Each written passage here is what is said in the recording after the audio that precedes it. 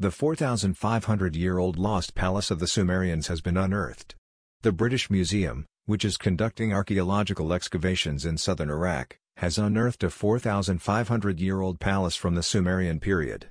A palace belonging to the Sumerian period was unearthed by the British Museum, based in London, during excavations in the south of Iraq. Described as the Lost Palace, the 4,500-year-old building is located in Girsu, which was used as the religious center of Lagash during the Sumerian civilization. During the expedition, the temple of the ancient Sumerian god Ningirsu was also unearthed.